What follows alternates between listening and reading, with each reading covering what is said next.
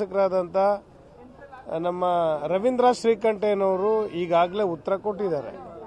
ಹಾಗಾಗಿ ಮತ್ತೆ ಅದನ್ನೇ ನಾನು ರಿಪೀಟ್ ಮಾಡಕ್ಕೆ ಹೋಗೋದಿಲ್ಲ.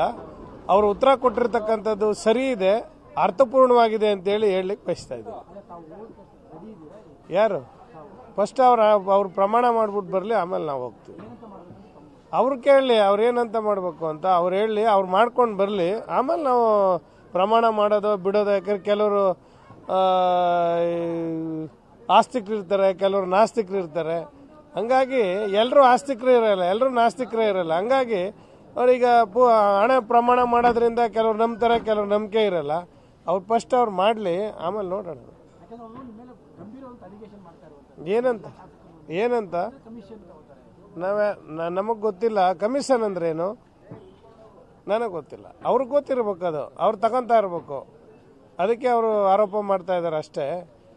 ಈಗ ಅವರು ದೇವ್ರ ಮುಂದೆ ಪ್ರಮಾಣ ಮಾಡಿ ಹೇಳಲಿ ನಾನು ಎಲ್ಲೂ ದುಡ್ಡು ಮುಟ್ಟಿಲ್ಲ ಇಲ್ಲಿವರೆಗೂ, ತಗೊಂಡಿಲ್ಲ ಅಂತ ಸಿನಿಮಾ ಅವರ ಕರ್ತವ್ಯ ಬಿಟ್ಟು ಸಿನಿಮಾ ನಟನೆಯಲ್ಲಿ ಹೊರತುಪಡಿಸಿ ನಾನೆಲ್ಲೂ ಹತ್ತು ರೂಪಾಯಿ ದುಡ್ಡು ತಗೊಂಡಿಲ್ಲ, ಮುಟ್ಟಿಲ್ಲ ಅಂತ ಪ್ರಮಾಣ ಮಾಡಿಬಿಟ್ಟು ಫಸ್ಟ್ ಬರಲಿ, ಆಮೇಲೆ ನಾನು ಪ್ರಮಾಣ ಮಾಡ್ತೀವಿ. ಸರ್ ಇವಾಗ ಬೆಂಗಳೂರು ಮೈಸೂರು ನಡುವೆ ಹೆದ್ದಾರಿ ಇದೆಯಲ್ಲ ಹ್ಞೂ ಕಳಪೆ ಏನು ಕಾರಣ? ಕಳಪೆ ಕಾಮಗಾರಿ ಆಗಲಿಕ್ಕೆ ಈಗ ನನಗನ್ಸುತ್ತೆ ಈ ಪಾಪ ರಾಷ್ಟ್ರ ಮಟ್ಟದಲ್ಲಿ ಇದ್ದಾರಲ್ಲ ಎಂ ಪಿಗಳು ಇಬ್ಬರು ಎಂ ಪಿಗಳು ಯಾರು ಮಂಡ್ಯ ಮತ್ತು ಮೈಸೂರು. ಅವ್ರ ಆತ್ಮ ಮುಟ್ಟು ನೋಡ್ಕೋಬೇಕು ಮತ್ತು ಆತ್ಮಸಾಕ್ಷಿ ಇರಬೇಕು ಯಾರಿಗೆ ಆದರೂ ಕೂಡ. ಈ ರಾ ಇವತ್ತು ಹಳೆ ರೋಡೇ ತುಂಬ ಚೆನ್ನಾಗಿದೆ. ಭಾಳ ಅಚ್ಚುಕಟ್ಟಾಗಿದೆ ತುಂಬ ಚೆನ್ನಾಗಿದೆ. ಒಂದು ಇಪ್ ಮೂವತ್ತು ವರ್ಷ ಆಗಿದೆ ಇವತ್ತು ಎಲ್ಲೂ ಕೂಡ ಪ್ಯಾಚು ಮಾಡಿಲ್ಲ, ಅಷ್ಟೊಂದು ಅದ್ಭುತವಾದಂಥ ರಸ್ತೆಯನ್ನು ನಿರ್ಮಾಣ ಮಾಡಿದ್ದಾರೆ.